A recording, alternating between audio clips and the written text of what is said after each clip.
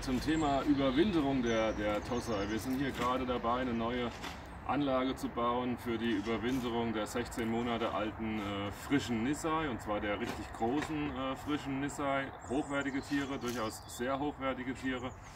Ähm, bei diesen Fischen bieten wir euch dann an, die Tiere bis nächstes Jahr Mai hier zu, ähm, zu überwintern, großzuziehen. Wir bieten die Tiere mit Zertifikat an.